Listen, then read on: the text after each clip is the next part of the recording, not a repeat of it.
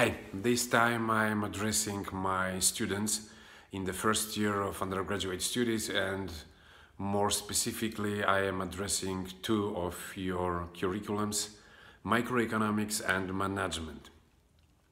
In this update I am giving a short example of how we can construct those things that we call uh, demand functions in a market uh, how we can calculate the volume and the value of a market, uh, how we calculate elasticities, and finally I give a short example how the quantitative characteristics of a market can be converted into the let's say into the variables of your business structure.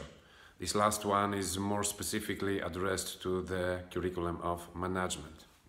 So this is it. I wish you a nice reading and see you in class. Bye.